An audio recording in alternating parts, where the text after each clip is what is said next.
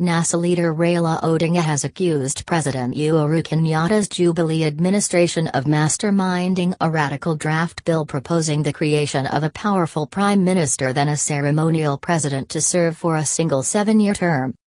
Raila, his three co-principals Kalonzo Musyoka, Wiper, Musalia Mudavadi and Senator Moses Wetang'ula, Ford Kenya, said the bill sponsored by a Jubilee-leaning Tiaty MP Kassit Kamket, KANU, is part of electoral injustice NASA wants dismantled in Kenya. However, Jubilee leadership in a statement by National Assembly Majority Leader Aden Duale on Wednesday disowned Kamket's initiative and any links to the ruling party that the bill has a chilling resemblance to others that have been implemented in the region, notably in Uganda and Rwanda where the seven-year term presidency has been introduced and is a pointer to the thinking in Jubilee on the direction elections should take in Kenya going forward, Raila said in a press statement. They asked Kenyans, especially their supporters, to treat the proposed law as a sideshow and an attempt by Jubilee to scuttle the coalition's quest for electoral justice, which entails critical reforms in various institutions such as the Electoral Commission, the police, and judiciary. The MP, Kamket, is a mere agent of vested interests and the forces of impunity that NASA is keen to dismantle. The changes NASA is seeking are contained in the Bomas draft constitution. The Bomas draft contains cures to the problems of inclusion, strengthening of devolution, the shape of the executive and security sector reforms, Raila said.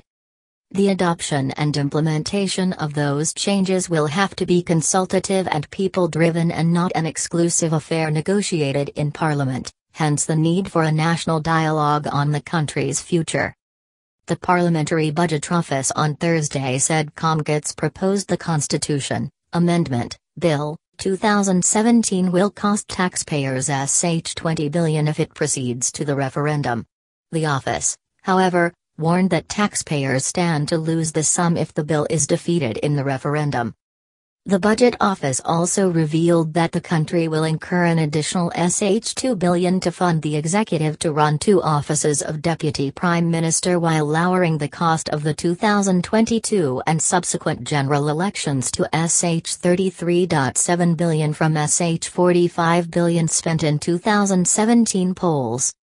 NASA leaders raised a concern over the country's state of the economy, especially the runaway debt burden caused by overborrowing and the Jubilee administration's delay to disperse county funds. They demanded for national dialogue to address the problems.